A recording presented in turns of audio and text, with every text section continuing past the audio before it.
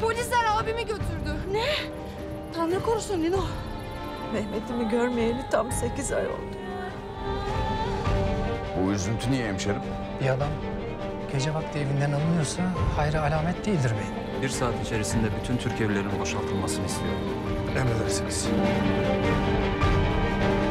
İtiraz edeni vurun!